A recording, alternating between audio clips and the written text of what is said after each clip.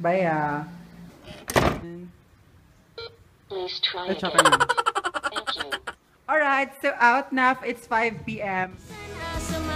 Malupad ang lagan Paisa nga basta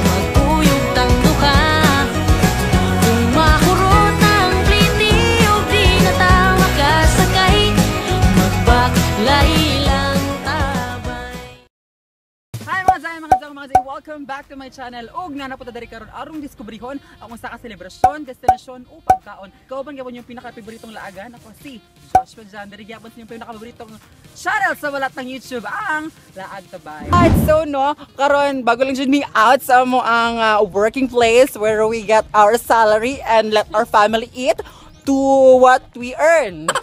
so karon na po bagong adventure. So since very issue karon sa Johnsonville, Johnson, ang karing 20 kilometers per hour na speed limit at ang i-try, especially nga kaming duwa, kauban ako ang bashing uh, gwapangan. Ay, love, love naman dyan, mga kapamilya, mga kabarkada. nga taga, ano, taga Alto Broadcasting Corporation, BSCBN. Corporate Bulinaw Network ang BN. Ako isang C nakalimit ka. Charat! Amo ang i-try karon kung unsa ang feels nga i-follow ning 20 kilometers per hour nga implemented sa City of Gems, City of Beauty, and City of Duna, General Sanchez City. Especially nga laagan jud mi no kung kung paon sa niya maapektuhan ang among time. kung paon sa niya maapektuhan ang amo. Di ba? So ato ang i-try karon kung unsa ganap aning 20 kilometers per hour. No. Ay, so no, nagawa na dyan mi sa parking lot where the lot is being parked. So, ma'am. hulmusan ako, no? Hulmusan ako yung camera, no? Siya, maalangan lain po nga. Badakpantan nyo kay driving while vlogging, di ba? Yes! Na so, kung ano, so, i-try na gid mo karon no, ang 20 kilometers per hour nga speed limit kung unsa bang kinalabasan ani. So, ang nakabutang man sa ilang ordinance is from Buayan Bridge. to Buayan Bridge to Baluan, La- then Lagaw. To Lagaw. So, mag-start ang 20 kilometers per hour dito na sa Sa Buayan, Buayan. Sarangani yes. pa man mi, level pa mi. Pag So, sa oh, Bigparagan. mga 300 kilometers per hour. Ah, Bagong Yolanda lang ang lada. Yes, and parang coincidence lang kay kagahapon nagbalak po ni ani nga sa man wake up. So kagahapon nagbalak ni ani nga mag-vlog. So it so happen na pag-abot tag pag-abot ra naman sa office kita kan din big task na buhaton ning 20 kilometers per hour challenge.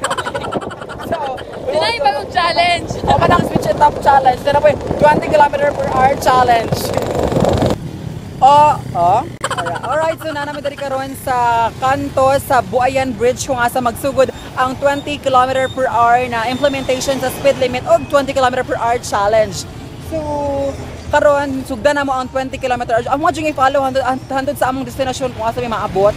So, sugdan na to. For your information ha, makuha lang ako ni siya from this spot padulong dito sa kanto sa Lagaw sa mga 10 minutes or less than. Kung normal speed, ambot lang ka ng 20 kilometers per hour, damong i-follow na, okay? Alright, so sugdan na mo ning 20 kilometers per hour challenge. 5, walang tawang oras ha?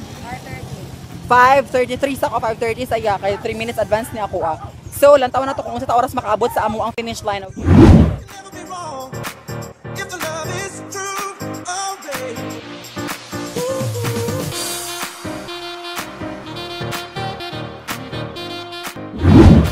kanto Lagaw from Buayan Bridge. Daghawa to kanina 6 to ay 5:33 PM nang tawa karon. Bot lang makita ninyo. 6:45 so it's a matter of 5:45? ay 5:45 PM so pila 12 minutes. So kabalo ba mo nga from Dare? Dare padulong sa Capitol makaya og 10 minutes kung normal nga kuan. Normal nga Capitol 5 minutes over po siya oy jet plane. Dare padulong Capitol good 10 minutes na na ba youth normal speed nya ko mag 20 kilometers. So let's move on and go forward. All right, so we're done with our 20 kilometers per hour challenge. Og karon nato diri aron ni hatag akong mga insights nga napansin nga sa ilahang pag-implement sa 20 kilometers per hour nga speed limit generally sa kinatibukan sa General Santos no. So napansin na ako nga Oo, naa sa mga school zones.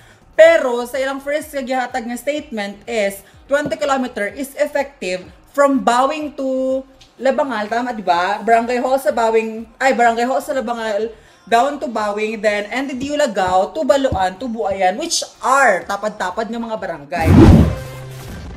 Pirmado na ang Executive Order No. 5 Series of 2019 ni Jensen Mayor Ronel Rivera. Laman nito ang ipatutupad na speed limit sa mga kalsada sa Jensen na nakabase sa Land Transportation and Traffic Code o ang Republic Act 4136. Tinukoy ng LGU na 20 kph ang highway sa NDDU papuntang Lagaw, Barangay Baloan at Barangay Buayan. Ganito rin ang speed limit mula sa highway sa Barangay Labangal, Barangay Hall hanggang sa Bawing Elementary School. Okay. Pero alam ko na sa ko eh. It's just that affected ko kay I'm a travel vlogger. Literal nga travel vlogger. di ba? Nagsige kog drive-drive kog motor. Taon sa! So, siguro lang, what is wrong is that kanang misinformation ang natabo eh.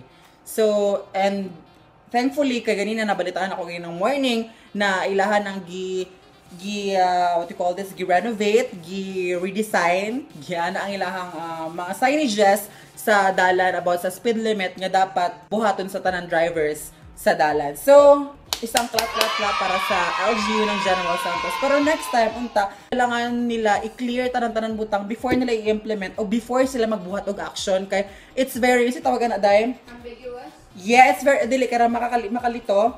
Confusing? it's very confusing di ba it's very confusing? Wow! Sa dictionary. Tama it's very confusing lang, no? And dapat manggod, isa po sa nap- napansin ako ang mali nila, kaya dapat manggod 20 kilometers, if given siya sa specific uh, parameter, kailangan na i-resume speed. Moto siya ang wala kagahapon, di ba? As you can see, sa amo ang mga ganap, wala i-resume speed. Okay lang man, dito na mamasabtan kung na-resume 60 kilometers per hour, resume 30 kilometers per hour, pero wala purely 20 kph speed limit lang jud ang among nakitaan sa tanan dalan from Buayan down to city. Nya nakakita ka sa Bawing Dime. Wala siya kita ka natulog siya na, or nagkaon na na siya. Mo na siya ang kuan. So mo lang mo lang na siya no akong insight sa karing 20 kilometers per hour nga speed limit implementation sa General Santos. And thankful I am kay ganinang bunta gani mo to gibalita na sa uh, mo to gani gi, giri Ellen Melon channel nila ang wala wala ang mga signages. So mo to siya ang mao to siya ang good thing lang pod especially if dili lang isa ka tao ang nagatrabaho para ani nga butang. Okay dili man siguro na si mayor lang no? Siya ang nag-edit sa Photoshop ug siya pod ang nag-print sa tarpaulin nga butang. Siya pod ang nagpaskil sa mga poste sa dalan di ba dili man? So dapat may makapansin ana before gi paskil ang mga signages sa dalan. Okay so since everything is clear mao lang na siya ang ako ang insights about the 20 kilometers per hour speed limit implementation sa General Santos. Og mo gapon yung pinakaborito nga channel sa balat ng YouTube. Ako gapon yung pinaka-sarang laagan. Ako si Joshua Jen. See you on my next vlog. And with this, I'm officially vlogging out. Bye!